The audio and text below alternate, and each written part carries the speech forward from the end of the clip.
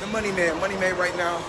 I'm training with my trainer, one of the best trainers in the world, GT. We don't knock what other trainers do. We don't knock what other fighters do.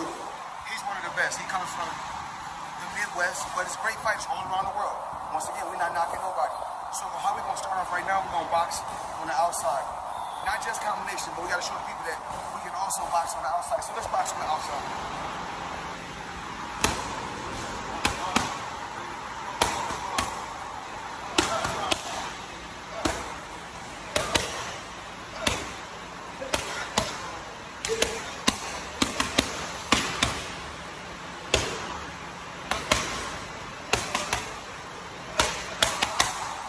So now, what we gonna do, we can pick it up a little bit. We ain't really gotta pick it up.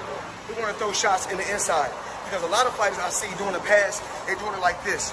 Their hands is not turning. So when you're on the, on the pass, your hands must turn. Uh-uh-uh, uh-uh-uh. I'm not just doing like this. A lot of y'all fighters is just doing that. So you wanna come to the right school? It's your man right here, one of the best trainers in the world. Let's show him how it's done.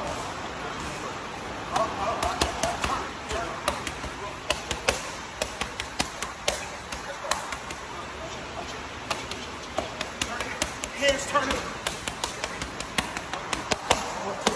Hands. Hands turn. Hands.